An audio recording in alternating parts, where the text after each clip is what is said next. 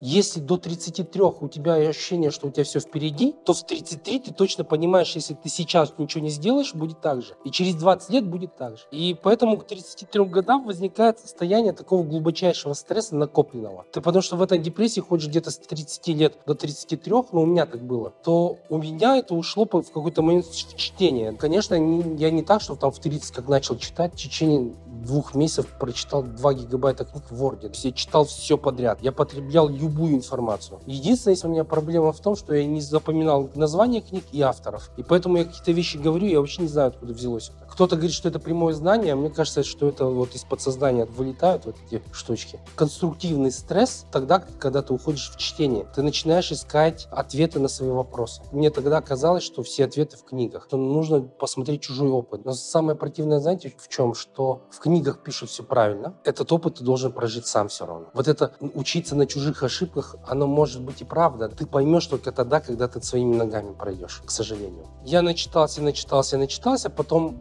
я понял, что что-то не то, прочитав вот эту груду книг, но я не понимал, что нужно сделать. И я пошел на тренинг личностного роста, мне сказали, там крутые проходят, пойдем. Я думаю, я же не крутой, там мы пошли там в долг вообще капец. Я вообще думал, не отдам деньги. И самое интересное, я пошел на тренинг, в течение двух недель я устроился на работу зарплатой в 3,5 тысяч долларов по тем временам. Видимо, из-за того, что я был к таким деньгам не готов, мне снизили до двух с половиной, и то было больше, чем я вообще хотел. И поэтому я смог с ними рассчитаться. Но со мной там произошли большие метаморфозы. С меня вытащили очень много-много напряжения, много обид и много деструктивных установок. Вы не думайте, что это такая легкая работа, потому что перепрошивка программы, она годы занимает. То есть я три года практически там ну, не вылазил оттуда такие тренинги личностного роста, они помогают перепрошиться быстро. Но есть жесткие тренинги личностного роста, где тебя там пушат, и ты там быстро меняешься. Надолго ли потом? Это вот быть, делать, иметь. Когда ты делаешь быстро-быстро, потом имеешь, а быть у тебя еще нету в голове. И тебя откидывает потом обратно. Здесь у тебя в голове не сформировалось еще вот это то, что я хочу, чего достоин. Но ты много-много наделал, потом тебе много дали, и у тебя вот здесь проседает в бытие, да, и тебя обратно сюда закидает. То есть из-за этого вот эти всплески вверх-вниз у всех.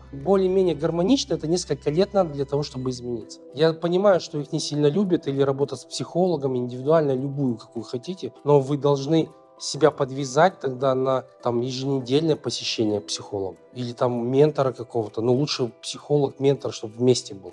Психолог, коуч, чтобы был вместе. Ну, допустим, финансовый вопрос, и ты приходишь там один раз в две недели, выполняешь какие-то задания или не выполняешь, приходишь, сдаешься, тебе опять корректируют, вытаскивают какие-то страхи, прорабатывают, потом опять приходишь через день, и потихоньку-потихоньку, я думаю, где-то в течение года-двух лет можно изменить там X2, X3 легко, особенно с предпринимателями. Почему я читал много книг? Потому что в какой-то момент я думал, что мне платить какому-то там психологу или коучу за то, что есть в книгах. Я пытался изменить сам, и не получилось. Пришлось платить этого психолога.